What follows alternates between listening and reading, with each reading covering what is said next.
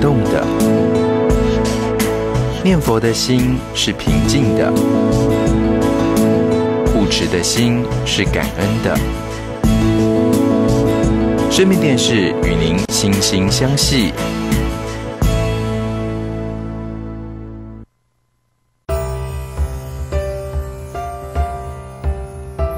接下来，请收看《善知识法语》。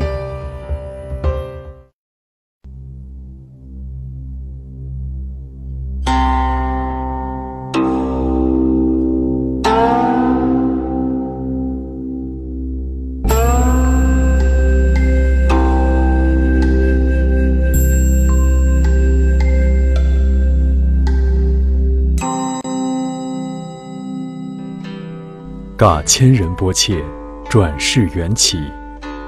噶当巴，丘丁巴。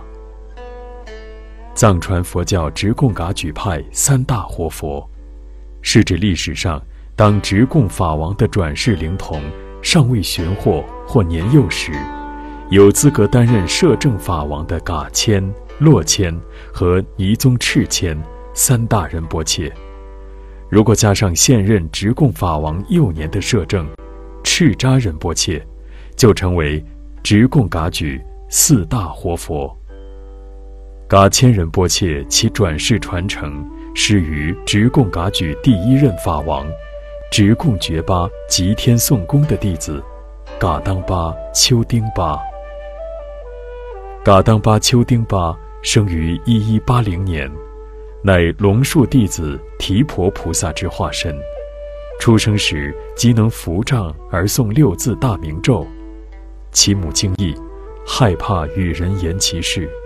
年轻时听说觉惹家族大成就者觉巴吉天颂功的种种殊胜功德与成就，便启程前往直贡。途中遭遇洪水而溺，情急大呼：“觉惹，觉惹！”遂浮于岸边得救。后见觉巴吉天颂公，觉巴吉天颂公言：“我子，汝欲逆时，是否呼我？”噶当巴丘丁巴言：“是。”遂留于上师身旁，领受了许多教法，精进修持，不数年便真至完美正悟，得究竟成就，称为。觉巴吉天颂功座下，噶纽秋孙三位重要的大成就弟子之一。噶当巴丘丁巴以不同机缘中所显现的种种神通，即通过甚深的教法，引导无数众生登上佛法正道。之后，许多弟子开始追随他，他认为时机依然太早，便驱散这些弟子。他与直贡建立了龙秀达丘丁寺之后，大批出家人便群聚于彼。他随又离去，继而建立了普公仁亲林寺。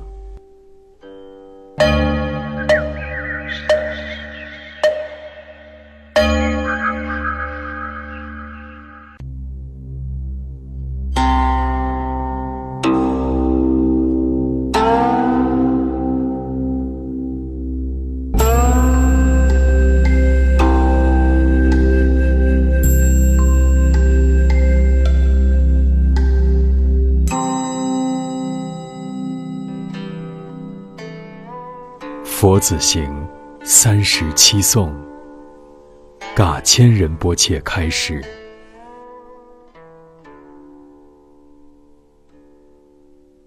第四段颂文：常伴亲友各自散，勤聚财物宜为计。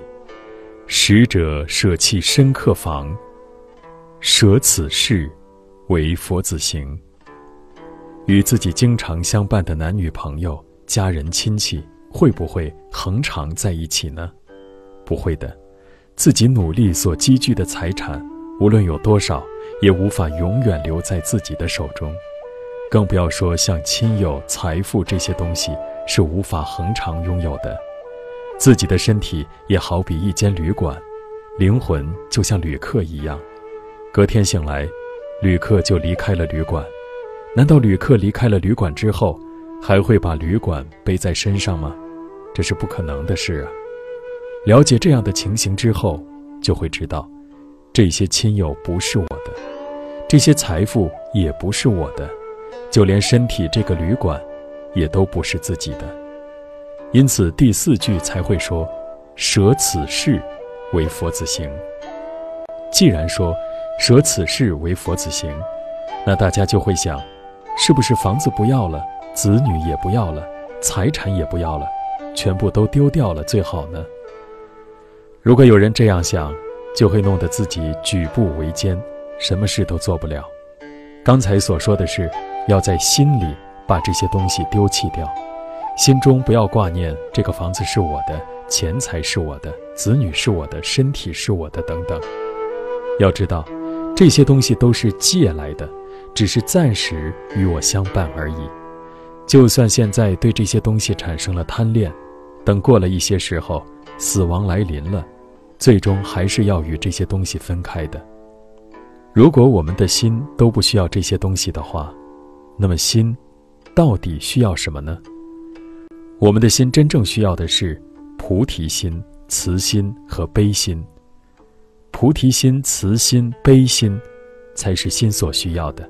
而且是可以带走的。我们在此生以及屈入来世的时候，真正需要的朋友是阿弥陀佛。我们需要真正的财富来供自己使用，这个财富就是菩提心。我们也需要一个真正的身体，男众需要的身体是观世音本尊，女众需要的身体是至尊度母，这些才是我们真正需要的，才是自己的。才是可以带走的，因此，未来当我们要离开这个世间时，男众可以带走的身体，就是观世音本尊，而女众就是至尊度母，可以带走的财产，就是菩提心与悲心，而可以与我们相伴的朋友，就是阿弥陀佛。这种情况就好像我们要到美国去，出发前需要准备很多的行李。有很多人来帮忙，也因为提早做了准备的缘故，所以就很顺利地去了美国。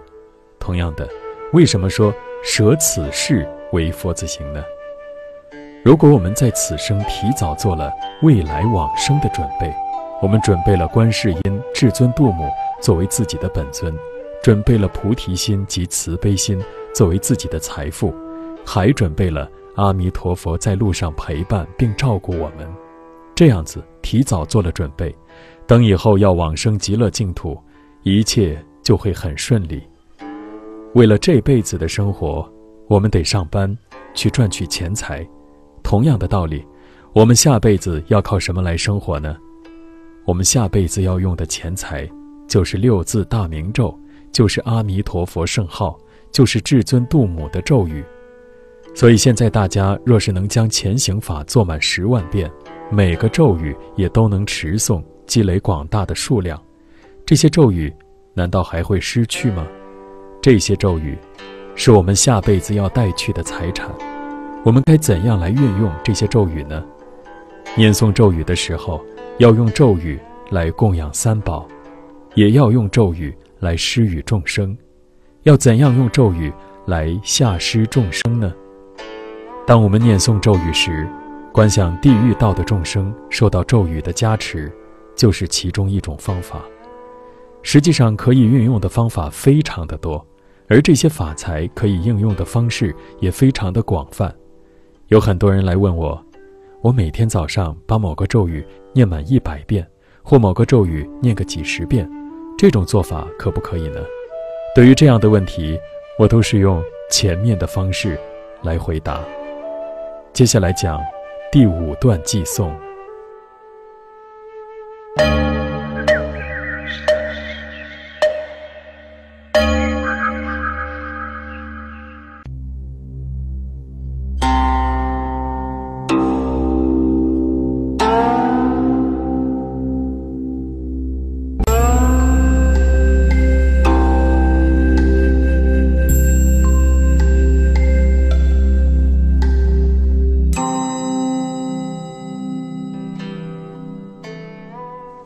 佛子行，三十七颂，噶千人波切开始。第五段颂文：交尽笔而三独增，且令文思修退转，能使慈悲灭尽者，远恶友为佛子行。无论是男女朋友或其他任何的朋友，当我们与之结交之后。却使得自己贪嗔痴不断的增长，譬如说，因为结交某个朋友而让自己染上抽烟喝酒的习惯，不知不觉中做了很多不好的行为。在这种情况下，就可以知道对方是一个损友，必须和他慢慢疏远。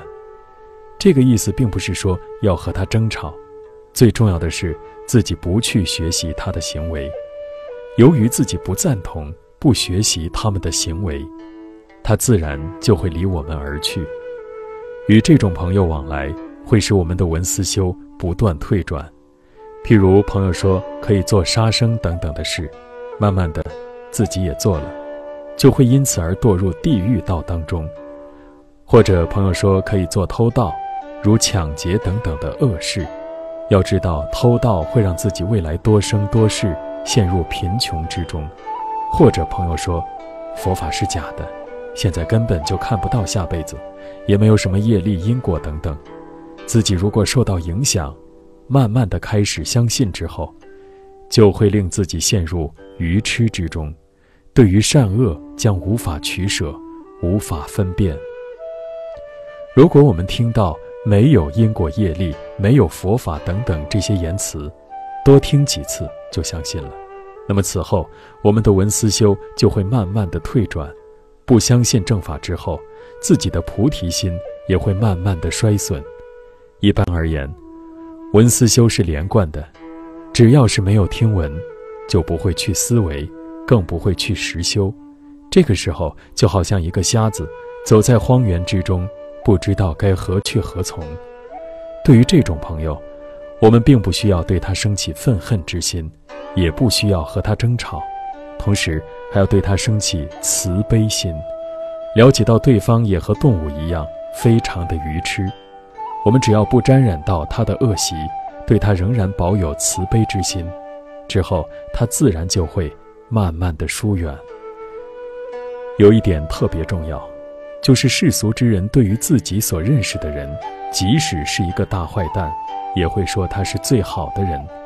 对于他所说的话是否真实，不会去思维分辨；对于自己所不喜欢的人，无论对方是一个多好的人，都会认为对方是一个大坏蛋。对于他所说的话，同样不会去分辨。这样的心态是极为错误的。我们应当要了解，不论是谁，都有自己的优点和缺点，每个人的优缺点都是混杂并存的。因此，在这个世界上是不可能找到一个只有缺点而没有优点的人，同样的，也找不到一个没有缺点只有优点的人。所以，无论对任何一个人，我们都应当经常去分辨他所说的话，去分辨他的行为，这才是正确的做法。不要因为对方是自己喜欢的人，就判定他的话是真的。也不要因为对方是自己不喜欢的人，就认为他的话是假的。对于任何人，都不要存有过于强烈的贪恋、嗔恨之心。要了解，大家都是同时具有优点与缺点的，自己应该要经常的祈请三宝，希望所有的众生都能越来越好。不要特别对某一部分的众生有太强的贪恋与嗔恨，应当观想一切。都是平等的。一般人的嫉妒之心很强烈，有很多的男女朋友因为嫉妒而发生争吵，造成彼此之间的伤害，这些都是经常会发生的事情。我们不应当任意听信别人所说的话，应当用自己的头脑好好去思维，用自己的眼睛好好的做观察。如果有一个人对我们造成某种伤害，或是有人以嫉妒之心讲了对方很多的坏话，这个时候我们就要好好的思维。我之前说过的，任何一个人都是优缺点交杂并存的。我和对方彼此都是多年的好朋友了。就算现在他做了伤害我的事情，也不要太计较。过去他也曾经给予我很多的协助，不要轻易受到他人的挑拨，应当用理智好好的去观察。对于上师善知识，这种情形就更加的普遍。自己去接受了一个灌顶，听闻了一个教法，隔天，如果有一些人来跟你说这个上师如何的不好，自己又到另一个地方去接受灌顶。听闻另一个教法，接着隔天又有人来告诉自己，这个上师如何不好，那个上师如何不好，等等诸如此类的话，自己好不容易升起的信心就这样一下子消失无踪。由于对上师失去信心，慢慢的内心就充满了愤怒与邪见，使自己的慈悲心逐渐退散。谈论某一位上师如何不好，是非常不好的一件事。因为即便这是一位不好的上师，但由于我们对这位上师有信心，内在的慈悲心便会继续增长。慈悲心增长之后，就能对自己产生很大的功德利益。无论如何，只要自己的信心不退转，就能对自己产生很大的利益。就此而言，令自己信心退失而丧失功德的人，才是真正的坏蛋。所以在听闻教法之后，无论如何，对上师的信心不要退转。只要自己的信心不退转，加持力就恒常存在。因为这股加持力是来自于三宝，所以这个加持力是非常强大的。其次，对于自己与老朋友之间的关系，也要保持坚固稳定，不要在意谁讲了什么话。老朋友之间要持续保持稳固良好的关系，不要受到动摇。以上所说的都是非常重要的内容，希望大家都能够了解。接下来讲第六段寄送。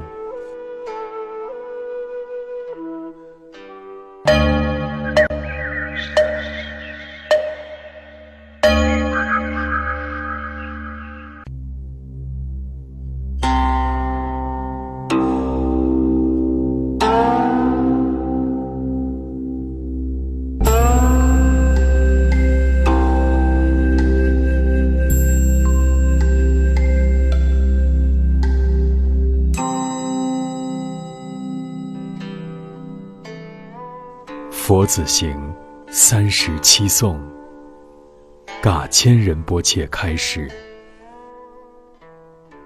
第六段颂文：一指何者，罪过灭，功德增如上弦月。圣善知识及自身，爱彼圣己，佛子行。如果在我们交了某一个朋友之后，发觉自己的嫉妒之心。没有以前那么强烈，而正念正知更甚于从前，这些全都是受到善知识影响的缘故。一般来说，现在我们功德能力的增长，主要是源于老师对我们的教导。但是此世以及来世的功德若要增长，就必须要依止上师与善知识。因此，我们说老师以及上师。是这个世界上的珍宝之王，就如同人的眼睛是最为珍贵的。父母生下我们，让我们有了一双眼睛，可以看见今生；而上师善知识，更是给了我们一双殊胜的眼睛，让我们不只看到此生，还让我们看到来世。因此，对于上师及善知识，我们不能去毁谤。接下来要讲解的是。以指上师及善知识，这一段的内容，大家不仅要仔细的听闻，还要好好的思维。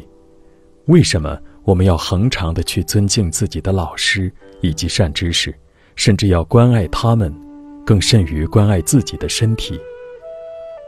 因为如果我们以自己的身体对老师、上师、善知识来做顶礼、承事、供养等等。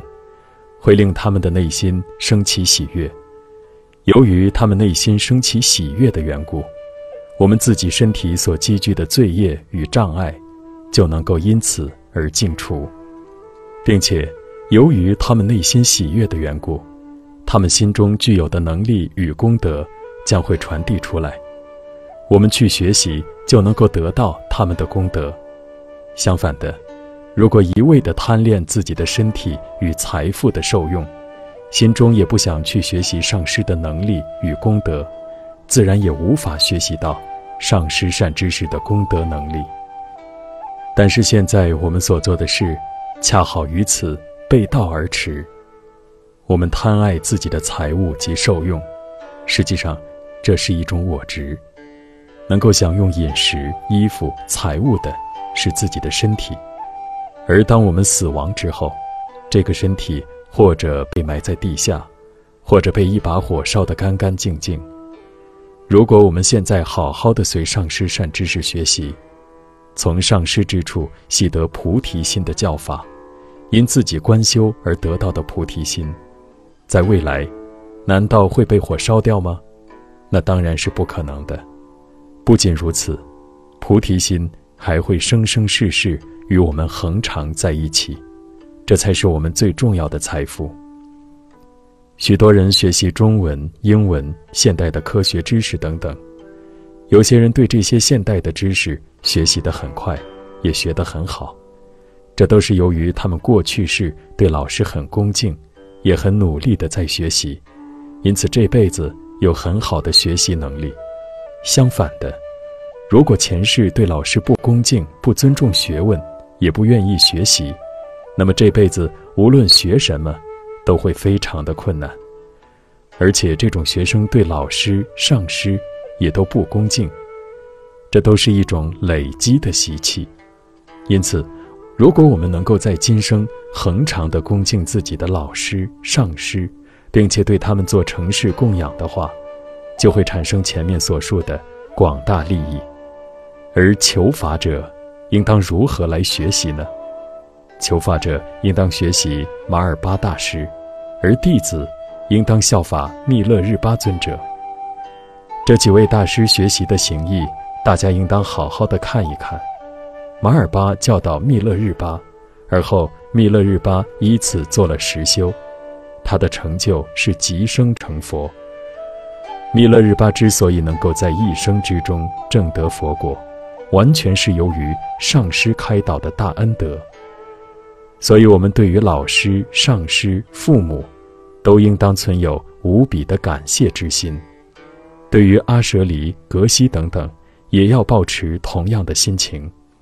上师、格西、父母，对我们来说是具有三大恩德者，应当恒常对他们具有恭敬之心。我们应当以恭敬心来学习，而学习的方式则应当如同马尔巴密勒日巴大师传记中所描述的一般。大家平常工作时，应当具足六波罗蜜来工作；听闻教法时，亦应具足六度来听闻。听闻之时，献上供养，这是供养，也是布施。听闻之时，约束自己的行为，不要散漫，这是持戒。遇到上师责备或是学习遭遇困难时，仍要继续努力，这是精进。学了之后，恒常记在心中，不忘失，这是禅定。所学到的功德与能力在心中形成，这就是智慧。这就是听经时具足六波罗蜜的情况。现在上师所教导的是词句的珍宝。并不是钱财等物质的珍宝。当我们讲述菩提心是真正妙宝时，上师要解释为何菩提心是真妙宝，菩提心从何而来，以及获得菩提心的方法。升起菩提心的方法是什么呢？就是要知道，一切众生都曾是自己的父母亲，所以对每一位众生都要升起悲心。如果能对每一位众生都升起悲心的话，就好比将一滴水滴在碗中一样。当水滴不断的滴下，碗里的水很快就盛满了。同样的，若是每一天对每一个人都能产生悲心的话，悲心就能迅速增长。当上师这样讲解之后，大家才能够知道实修的方法。所以，这样的讲解是此句的珍宝。既然看不见，当然也就不会消失，即便是死亡，也不能令它消失；而物质的珍宝在我们死亡之后就会消失。为什么上师所讲解的词句称之为珍宝呢？因为它能使我们的过失减少，而令功德增长。所以第六段祭文说道：“一指何者罪过灭，功德增如上弦月。”什么是过失呢？就是我们内心的贪恋、嗔恨、愚痴、嫉妒。什么是功德呢？菩提心就是功德。当我们经常在内心思维大手印、大圆满的意义时，功德自然会增长，而过失就会减少。为什么说过失会减少呢？因为当我们观察到自心中的贪恋、嗔恨、愚痴等等过失，并且能明白的了解时，就能去除这些过失，而功德自然就会增长。弥勒日巴尊者曾说：“内心了知自己的烦恼。”是大手印成就的征兆，所以应当以心来观察自己的心，才能去除内心的过失。要好好看住自己的心，并将他的过失去除。譬如说，当一个人辱骂自己时，此时应当忆想上师曾经教导过，一切众生都曾是自己的父母，所以不应该对他生气。其次，上师也教导过。愤怒所造作的恶业，会令我们堕入三恶道之中。若是我们在当下能思维上师所开示一切众生如母以及业果的道理，就不会因此而生气。这就是忍辱。若自己在当下修行忍辱，就不会与人发生争吵，而对方也会因为你有这么好的修养，就会慢慢的开始尊敬你。这就是功德增长的原因。相反的，如果没有接受过上师的教导，对以上的教理完全不知道，导致自己暴跳如雷，跟对方争吵打架，最后甚至被关到监狱里去，要花钱消灾，又伤身劳累，一切过失就会因此而产生。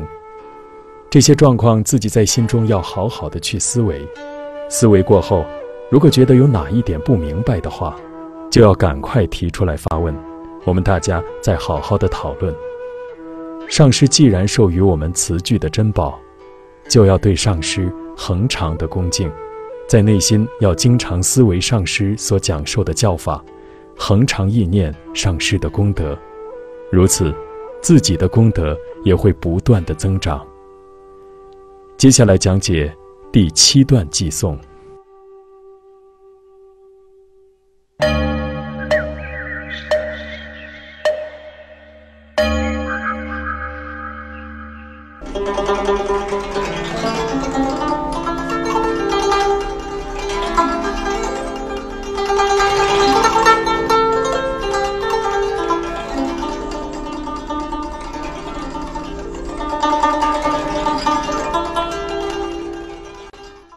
护持生命电视台邮政划拨户名财团法人生命传播文化置业基金会，划拨账号一九九六五二三二一九九六五二三二，银行账号银行代号土地银行零零五，账号零一二零零一一九七三八八零一二零零一一九七三八八，传播佛法，救护生命。慈悲置业花莲中心举办清明孝亲报恩超度法会，恭送地藏菩萨本愿经，点灯供水要供即甘露施食，恭请常住法师主法。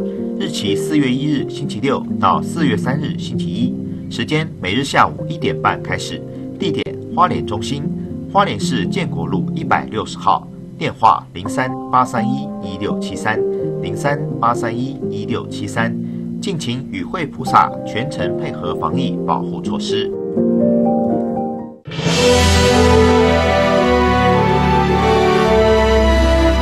您现在收看的是生命电视台。